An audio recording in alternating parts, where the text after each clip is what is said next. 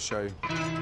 Take the clover garlic, this part of the knife on there, and literally hand on there, and that is super minced.